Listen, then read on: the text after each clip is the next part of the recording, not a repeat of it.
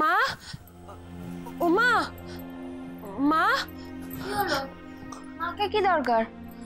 রুম্পাদির মেয়ে হয়েছে মা ওকে একটু দেখতে গেছে। ও ঠিক আছে। তাহলে আমিও ফেরার পথে ওকে দেখে আসব। ফেরার পথে মানে? তুই কোথায় বেরোবি এখন? আসলে না আমার খুব কচুরি আর জিলিপি খেতে ইচ্ছা করছে। তাই ভাবলাম লক্ষ্মীকে নিয়ে একটুখানি ওই স্টেশনের দোকানের দিকে খেয়ে আসি।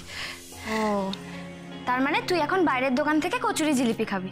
তারপর আবার অসুস্থ হবি আর তারপর বাড়ি শুদ্ধ সব লোককে জ্বালাবি। ও মা গো!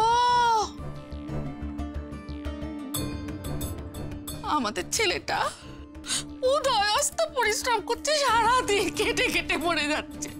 ছেলেটা দাঁতে কিছু কেটেছে কিনা তার নেই ঠিক। তোমার বাড়ির খাবার মুখেই রুচ্ছে না? হ্যাঁ? এখন এই রাস্তায় ধেই ধেই করে বেরিয়ে পড়তে হলো? সিঙ্গাড়া জিলিপি কচুরি জিলিপি এসব খাওয়ার জন্য? ছি ছি ছি ছি ছি তোমার এতখানি নোলা? ঢং এতদিন তো বেশ কৃষ করে যোগিনী সেজে ঘুরে বেড়াচ্ছিলি। যেই কচুরি জিলিপির কথা মনে পড়ল অমনি আসল রূপ বেরিয়ে গেল বল।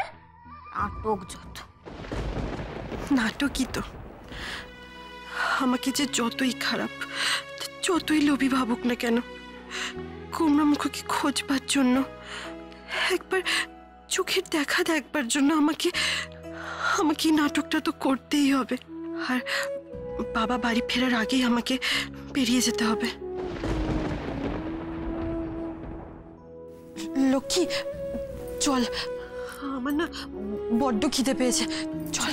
এই দিদি, এতগুলো কথা শোনার পরে তুই বাড়ি থেকে বেরিয়ে যাচ্ছিস?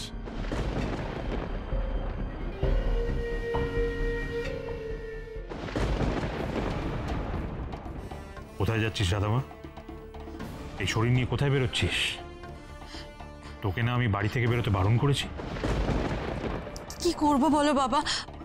আমার যে খুব কচুরি আর জিলিপি খেতে ইচ্ছা করছে। হ্যাঁ?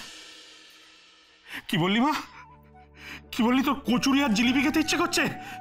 হ্যাঁ, তার তার মানে তোর তোর শরীরটা এবার আস্তে আস্তে ভালো হয়ে যাচ্ছে। খুব ভালো খুব ভালো। তুই কটা কচুরি আর কটা জিলিপি খাবি বল? আমি এক্ষুনি এনে দিচ্ছি বল। বল মা বল। হ্যাঁ হ্যাঁ সেটাই ভালো। তোকে আর এই সময় বেরোতে হবে না।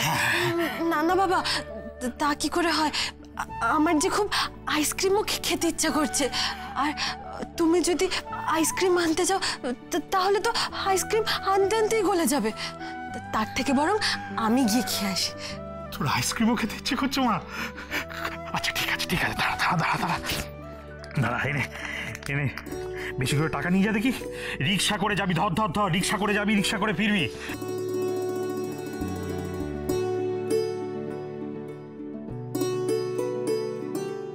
বাবা ও বাইরের দোকানে গিয়ে কচুরি জিলিপি খেতে চাইলো অমনি তুমি ওকে যেতে দিলে? আবার শুরু হয়েছে খাই খাই খাই খাই। আহ কি হচ্ছে কি বিনা বড় দিদির সম্পর্কে কেউ ওইভাবে কথা বলে? ওরে, ওই কচুরি জিলিপি খেতে চাইছে মানে ও শরীরটা আস্তে আস্তে সুস্থ হচ্ছে। ও আবার আগের মতো স্বাভাবিক হচ্ছে, এটা কেন বুঝতে পারছিস না? তাছাড়া লক্ষ্মী তো সঙ্গে গেছে, চিন্তার কিচ্ছু নেই, কোনো চিন্তার নেই। এক মিনিট, আমার মাথায় একটা অন্য কথা এলো বাবা। ও কচুরি খেতে গেছে তো? নাকি অন্য কোনো কাজে?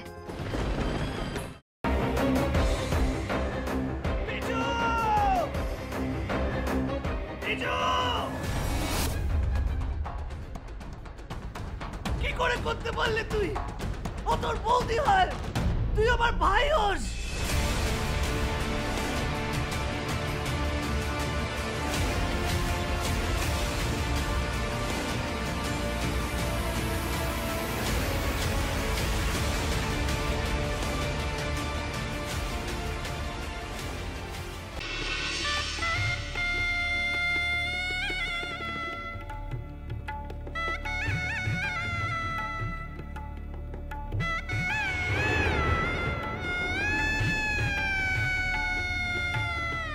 বুঝতে পারছি না। আরও একটা বড় ব্লান্ডার করলাম কিনা। কি বড় মামু? আমি ওদের কুড়ি লাখ টাকা দিয়ে দিয়েছি। সে কি কথা? কেন? তোমার কিন্তু কথা ছিল। এই কথাটা পাঁচকার না করার। যাই বাবা তাড়াতাড়ি বজরংবলির পূজাটা দিয়ে আসি। আমি লাড্ডু না দিলে তো বজরং বাড়ির ব্রেকফাস্টই খাওয়া হবে না।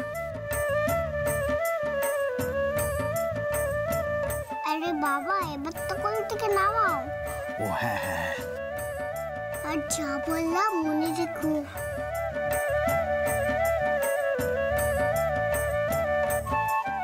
ইয়া ইয়া সাবধানে সাবধানে দেখে আমরা চেষ্টা করছি। যাতে ওকে যত তাড়াতাড়ি সম্ভব জোর দিয়ে বলতে পারেন কি? ওকে জীবিত অবস্থায় পাওয়া যাবে?